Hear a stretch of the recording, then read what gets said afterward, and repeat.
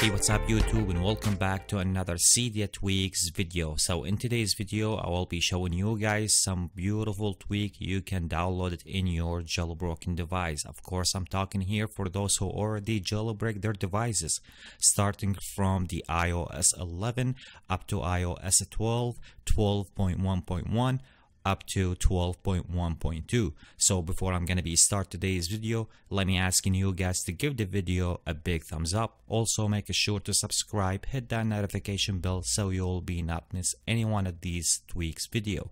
Okay, so the first tweak that I have for you guys, the dark sounds. What the tweak will be provide you with will be make or bring the dark mode into your music application.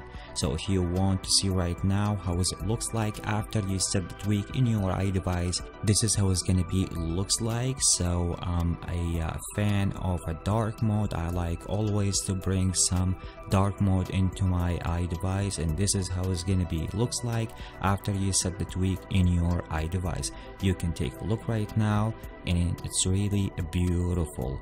Also if I want to go ahead right now and jump under the settings. The first thing go ahead and enable the tweak and also you can apply the Noctis if you already set Noctis on your iDevice. And also if you want to enable the dark keyboard and also we have some other stuff like for example the color options here. So you can go to the theme. We have a lot of different kind of style theme. You can pick your favorite from in there. And also if you want to customize and put some colors it is available. So by going to the custom color options you can do a lot of different things from in there.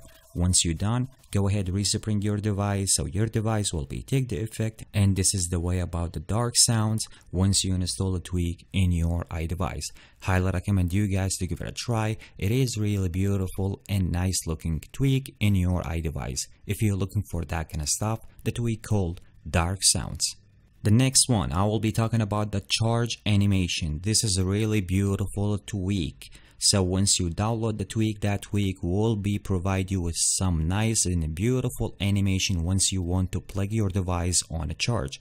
If you guys want to take a look, how is it looks like or how is it the uh, theme or the animation style that you want to pick from the under the settings, this is how it's going to be looks like. So by going to the settings, go ahead first of all and enable the tweak and then you can tap on the animation stuff or uh, the options that you have. So you can pick any one of these uh, options here. So you can, as you guys can see, we have a different kind of style and then also we have a uh, X edge and non-X uh, devices edge uh, if you want to use that. Also we have the watch OS and also we have the iOS style.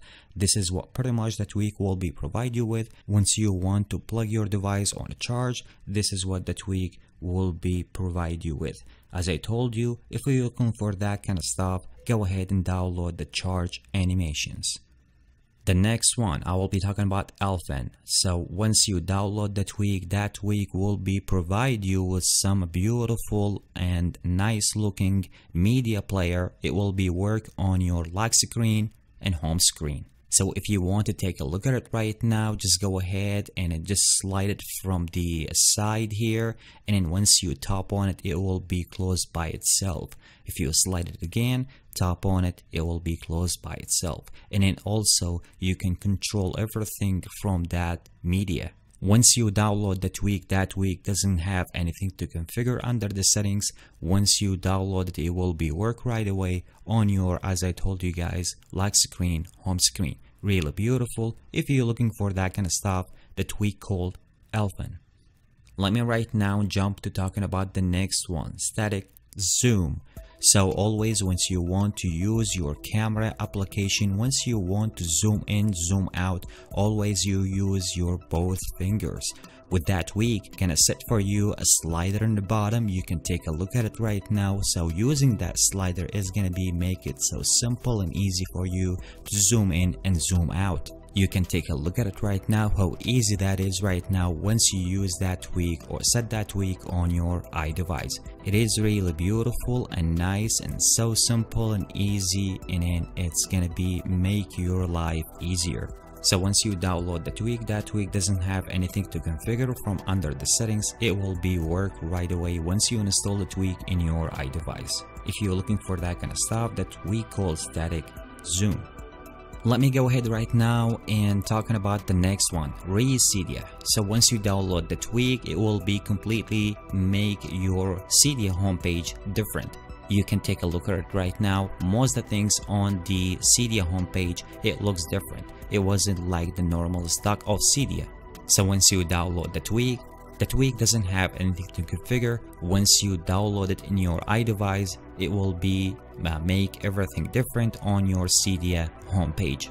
So yeah guys, as I show you, if you're looking to change the homepage of your Cydia application, it is available as I told you guys and as I show you guys, you can go ahead and download the Recydia. So anyway guys, this is the most tweak that I want to share with you guys in today's video. So I hope you guys enjoyed today's video.